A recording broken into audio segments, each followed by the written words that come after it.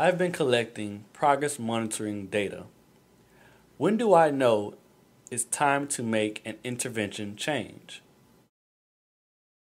I think this is a really good question because too often uh, teachers are collecting progress monitoring data, but they're not really utilizing the data. And we know that that is really the key to seeing change, positive change in your students' performance is really utilizing that data.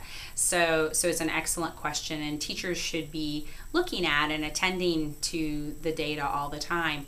It's it's interesting, sort of a, a an interesting tangent is who is the person that should be attending to and looking at this data and thinking about the change that should be made. I get asked this, you know, should it be the, the general ed classroom teacher? Should it be the interventionist? Should it be the special education teacher? And so it's important to think about in your school, in your district, who the person is that provides that primary reading instruction to the student.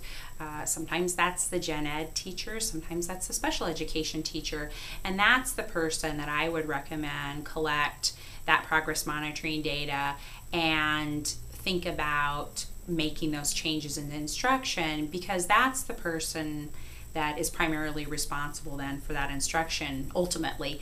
Uh, we have to go back and remember that that progress monitoring data that data is not just to tell you oh students good or bad. That data is to inform teachers instruction. That's that's really the, the key behind that so after you've collected some progress monitoring data, it's important to collect enough data so that you've let the intervention play out long enough. And when we think about the differences in how quickly we make a change when we have behavioral data, graphed behavioral data, or graphed academic data, it's not all synchronous. Uh, behavior data, you might have a student that has challenging behavior, and we may go in and make a change much more quickly based on that data than we do with an academic intervention. And so, the, the general recommendation or guideline from the field is that we need at least, uh, most would say, most researchers would say at least eight data points. Uh, some would say as many as 10 to 12 data points before we go in and look at the data and make, make a change in instruction. And, and I want to back up and say, of course, you're looking at the data each time you graph and enter that data. However, in looking at it to really think about whether an intervention change is needed.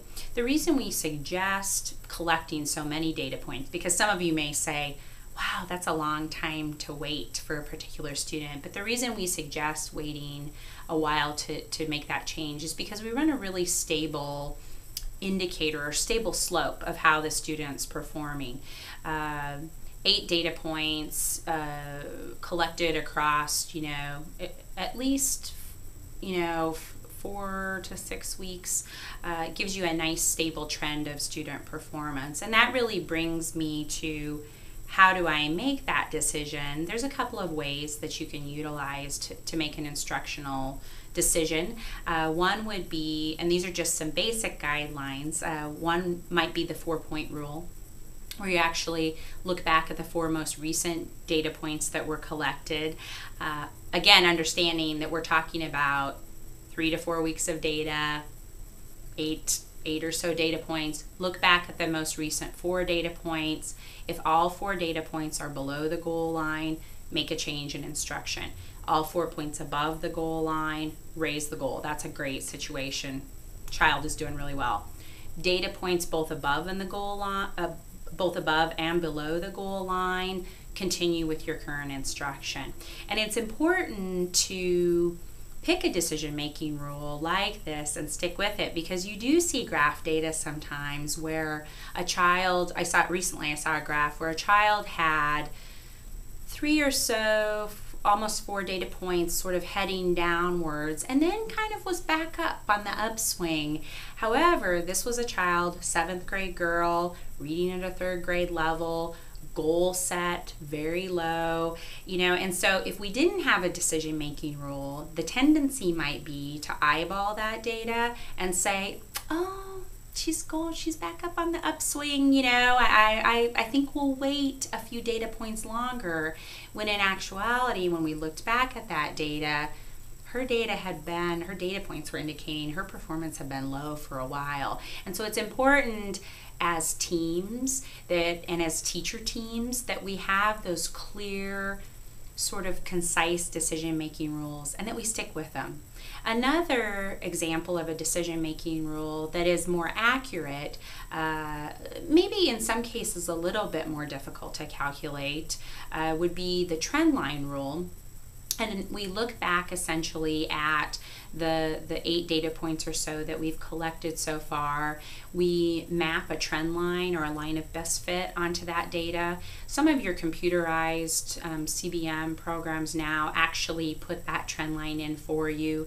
You look back and you compare once again, just like we did with the four point rule, to the goal line.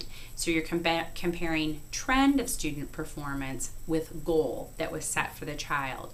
If the trend of student performance is less steep than the goal line, it's time to make a change, an instructional change. If the trend of student performance is greater than the goal line, great situation again, students doing better than we thought, maybe raise the goal line. If the trend is about parallel and close to the goal line, we can continue with our current instruction.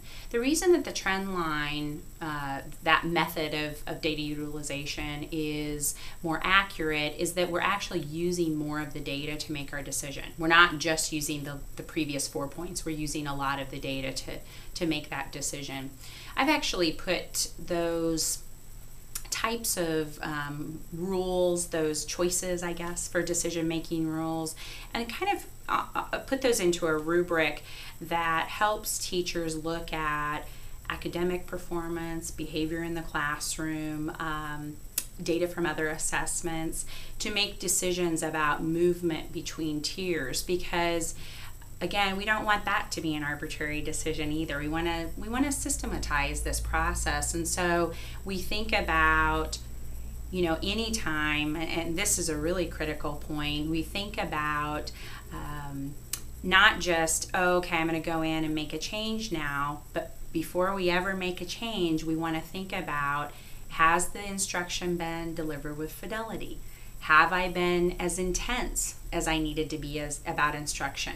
Uh, perhaps I wanted to deliver intervention for 30 minutes, you know, four or five times a week, and intervention time is right next to recess, and I only get to do intervention for 15 minutes, you know, each day. So, uh, intensity, fidelity, specificity of instruction? Uh, do the teachers understand the the specifics of how it how that lesson should be taught? So it sort of goes back to effective teaching behaviors. So so before we ever make that change, then we want to be careful to look at and address some of those questions as we as we utilize that progress monitoring data.